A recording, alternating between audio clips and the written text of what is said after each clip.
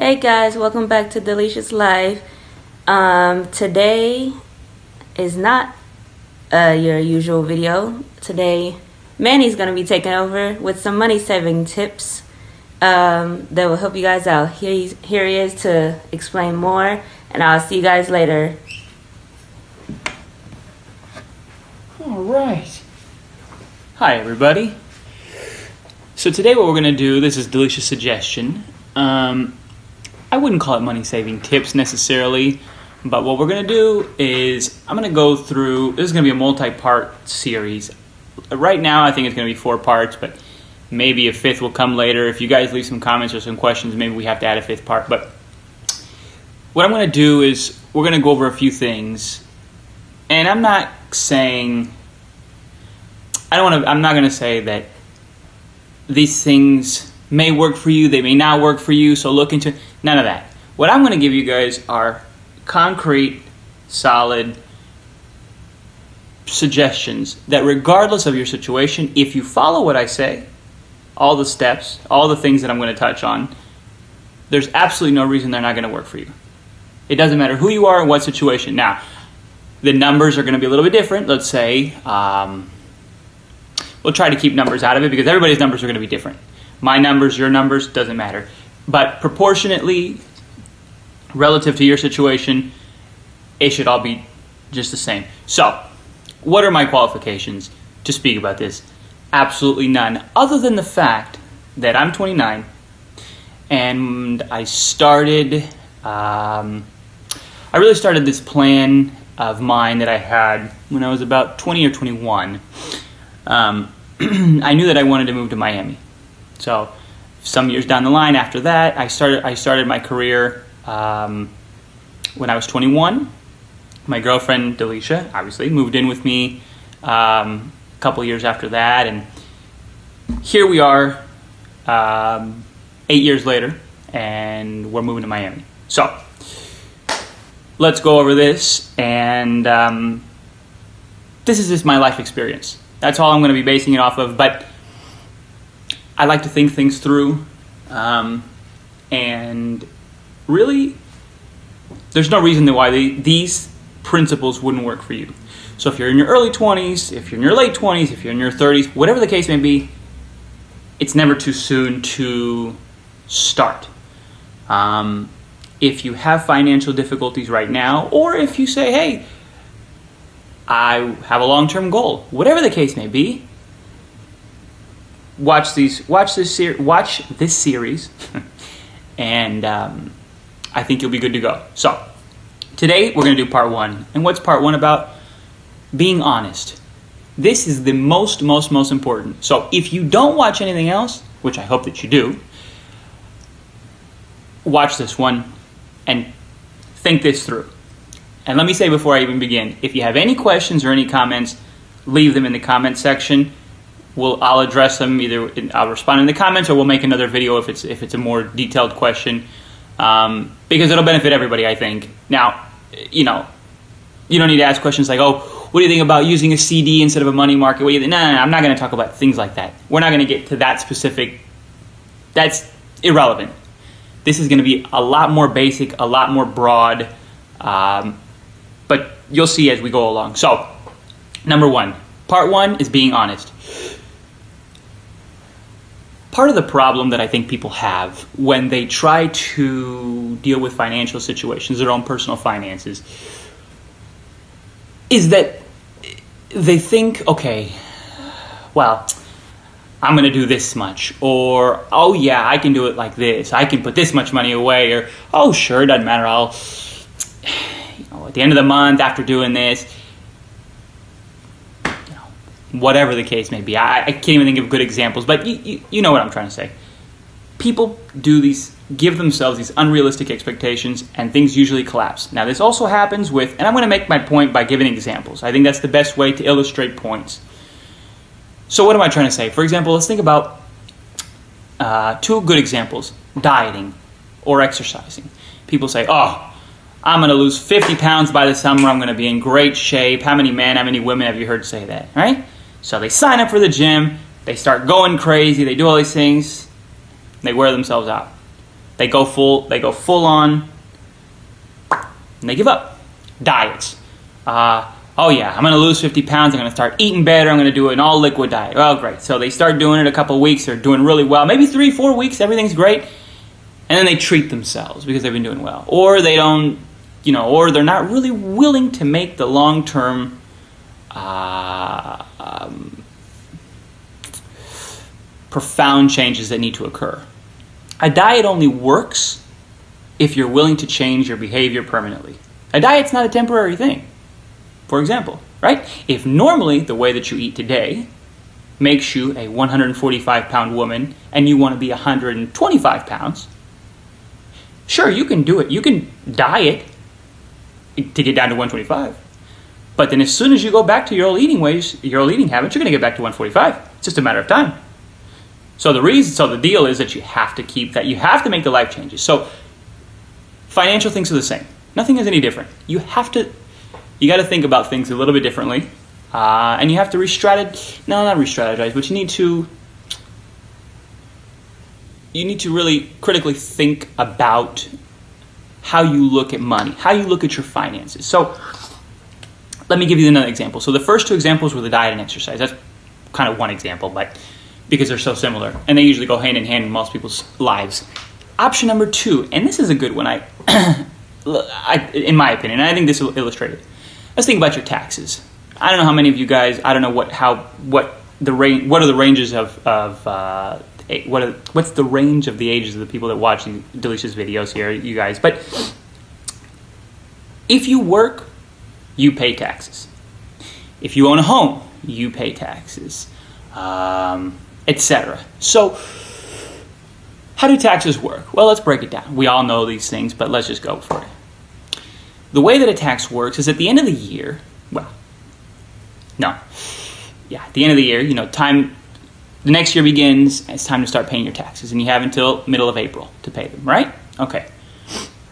So what you do is you fill out some paperwork and then the government tells you, "Great you either get this money back in a refund because you paid too much over the year, or you owe us a little bit of money. Right? 100 bucks, 80 bucks, whatever the case may be. But the way the taxes work is that you're paying throughout the year. So every paycheck you get, taxes are taken out. A portion of your income is taken out. So let's say that you get paid twice a month, okay? That means you get 24 checks in one year, paychecks. And let's say that you pay $100 state taxes plus federal taxes and all that, all that together. Let's say in total it's 100 bucks. Let's just throw a number, okay? Easy numbers. That's a total of $2,400, right? Two checks times 100, 200 times 12 months, 2 times 12. Okay, we got it. I promise no numbers, but I guess I threw in some numbers. Sorry. um, so we have that all taken care of. Now we got that number down. So what if it were a little bit different? What if it were a little bit different? And the, the money wasn't taken out of your check, your paycheck.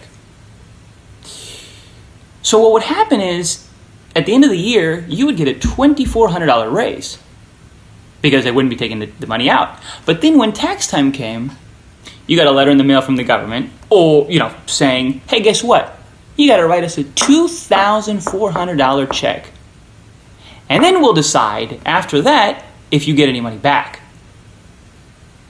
Now, you know that when you get money back, it doesn't come near, for example, I don't know, I think last year I got maybe 700 bucks. What did I pay in taxes? I don't remember it in total, but it was, let's, let's just throw out the number 2400 uh, That's a third.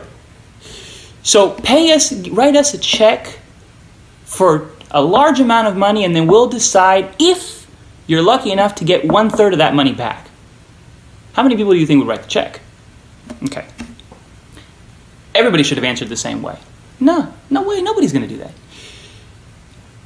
So the so the reason so the way that government is the government the IRS and everything sets up taxes and this is everywhere in the world at least that I know I mean in my family's country of Argentina it's the same way you take money out every month every every paycheck so then it happens the government gets their money you don't have to think about it, and it gets done.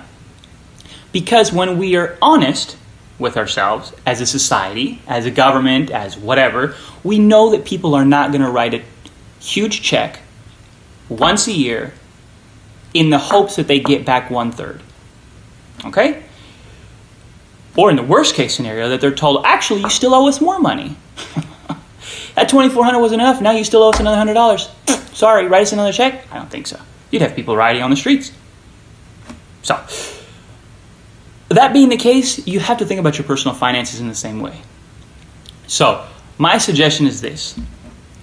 We're going to get into this in the next one of the following videos, but whether you do a savings account, whether you do whether you want to invest your money, whether you want to put it in a piggy bank, whether you want to whatever the case may be, you have to take you have to take the role and the responsibility of the money being placed in this separate location where it's going to be saved and, and you know um, and it's going to accumulate you have to take that responsibility and that role out of your own hands.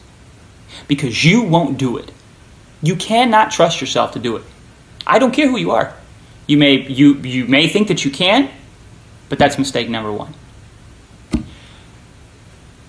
So the way i did it for example is i decided to invest my money um, we have we had an investment guy. I don't sit there and do you know trade all the money online by myself, but we had an investment guy, and we went to him and I said, um, okay, so here's what I want to do. I said I want to put away this much money, but what I want you to do is I want you to take the money out of my bank account the first of every month. Normally, my paychecks would come around the 14th and the 29th. So I said, You take the money out on the first of every month. And I gave him a ridiculously high number. So I said, Okay, I don't remember. I think in my case it was mm, about two thirds, between a third and two thirds of my paycheck. It kind of changed because I got raises over the years, right? Obviously. Now you say, God, that's a lot of money. It is, but if you don't have it to begin with, because my bills usually were paid around the 14th, the 17th, let's say, for my credit card, things like that. So when it came time to pay my bills, the money wasn't there to begin with. In other words, maybe I said that backwards. Okay. I think to myself, let's say it's, uh, what month we? We're in July. July 1st, my investment guy takes out my money. July 5th comes along. Oh, we got to do shopping, grocery shopping. We have to do whatever the case may be. You know, things here and there. Well, how much do we have? Well, I got this much money.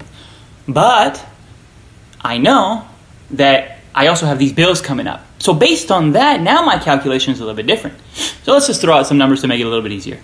Let's say I had my investment guy take out uh, $500. Let's use a small, let's use a relatively easy number here. $500 at the beginning of the month. That $500 now changes the equation of how much money I have to spend on other things. Now you think, well, I don't spend my money irresponsibly or I only do the, the bare essentials. I doubt it. How many times do you Uber Eats, Postmates, DoorDash? Uh, how many times do you take an Uber to go to the movies? Um, you know, I'm and so, and it's really difficult to assess these things again about being honest more than likely you're not going to be completely, you won't be honest with me, and that's fine. But more than likely, you won't be that honest with yourself either about miscellaneous expenses that you really don't have to do, but you've gotten into a nice habit. And those things can really add up. So, going back to the going back to what I'm saying. So $500 were taken out at the beginning of every month. So that when it came time to between let's say the 2nd and the 14th and 17th around then when I had my bills to be paid, I calculated, I didn't even calculate 500 less because when I looked at my bank account, the amount that was available was $500 less. So there was no time to where I had to say, hmm, okay, uh, let me calculate 500 less because I want to give my investment guy 500, even though that 500 is still already there. It's still there. Because if the 500 is still there, you're going to find excuses, you're going to find justifications, and by the time you write your uh, your investment guy a check because you don't have him take it out automatically like I did, you're probably not going to have 500 anymore. You may have 400, you may have 350. One, there goes one month where you invested 150 bucks less. So, being honest with yourself is the most important thing. You are not capable to the degree that you think that you are to invest the amount of money or to save the amount of money that you want. So, if you go the investment route, that's one option. You can tell your investment guy, you take it out of my bank account on this day every month. Whatever amount you set, you choose. And my suggestion is also to start with the highest number that you think you can possibly go with a really high number and see how you can see how you can live with that. Right? And if you can't, then you know you bring it down a little bit, 100 bucks, 100 bucks. You give yourself a little bit more until you until you find that perfect medium. Um, and if you don't want to do that, you can do savings. Let's say you want to put it in a savings account. That's great. So then you can go to your, you can log on to your bank, uh, online banking, or you can go to your bank directly, and you can say, I want to set an automatic bank transfer. So on the first of every month, let's just keep with the same numbers. On the first of every month, I want you to move $500 from my checking account to a savings account. Bingo. Little things like that, they'll do it for you. Those things that that's not a problem. See, little things like that are what's going to do it. Let's say the piggy bank idea I gave earlier. Well, do you live with somebody else? Let's say you live with your brother, you live with your mom, you live with your girlfriend, whatever the case may be, your boyfriend. Okay, well then you say, hey, take out this money and put it in there for me. Take it out of my wallet. Whatever the case may be. But you need to put the responsibility in someone else's hands.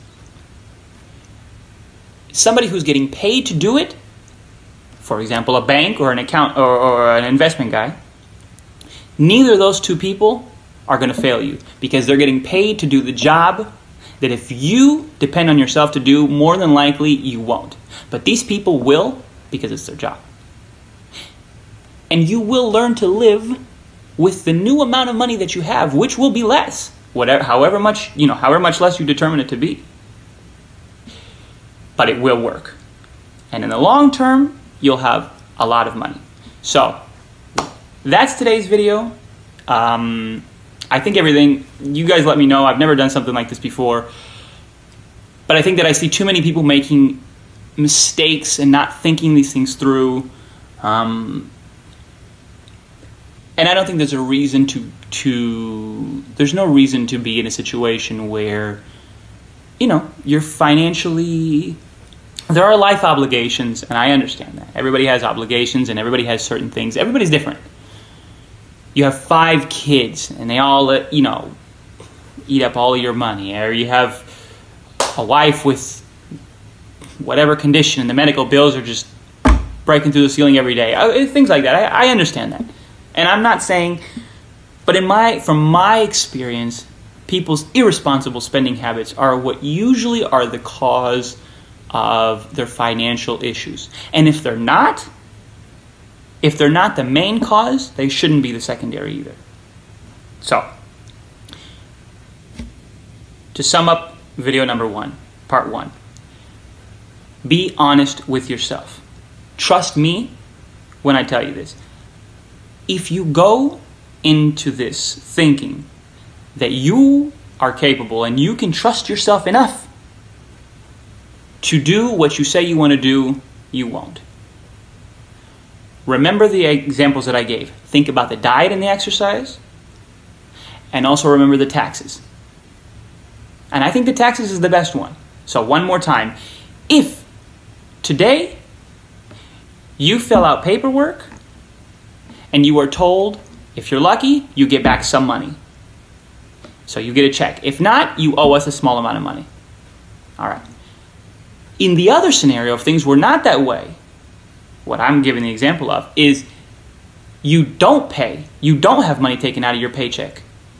And at the end of the year, you're hit with a bill from the IRS that says you owe us this large amount of money, and after we get that payment from you and your check clears, then we will decide if you get a portion of that money back.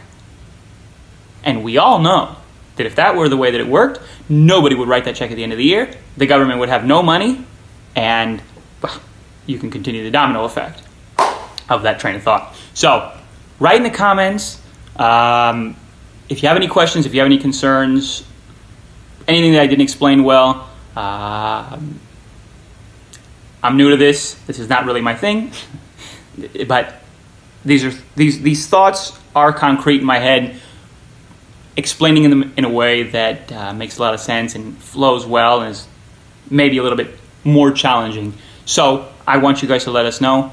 Tell me what you think. Uh, and if, if there's a specific topic that you want me to address and I actually know about it and it's not something very in depth, like I said, the difference between a money market and a CD and things like that, I'm not the guy for that. Don't ask me those things because that's not, that's not my thing. But any other type of questions, go for it. Ask and we'll see. I'll respond in the comments or we'll make another video about it. So have a good day. Remember to like, subscribe, share this channel with all your friends and family, turn on the post notification bell, write a comment. I like I said, like it, thumbs up. Um, do the whole shebang, and we'll be back with another video. We're going to do these once a week and until we're done. Take it easy, guys, and see you later.